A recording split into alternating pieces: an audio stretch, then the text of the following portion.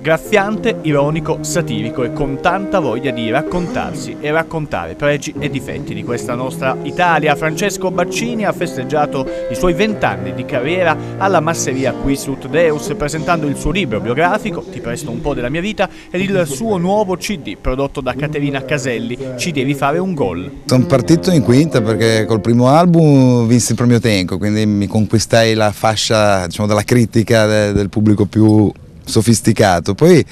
col secondo, come, come la famosa meta Gillette eh, che mi uso, arriva al grande pubblico con eh, il pianoforte nel mio forte, quindi sotto questo sole, le donne di Modena, qua qua quando.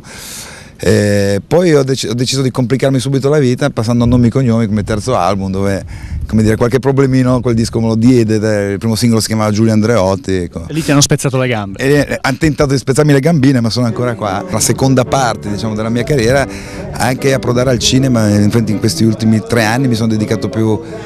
al cinema, inteso proprio come attore, come recitazione e ho fatto un paio di film, chiaramente tutti e due indipendenti, uno Zoe che sta girando ancora adesso i festival e purtroppo non ha ancora trovato distribuzione e un corto che si intitola Nero Fuori che proprio in questi giorni mi hanno detto che aveva vinto un, un, un festival dove mi premierà Ruth Grauer, il famoso ho visto cose che, non, che voi umani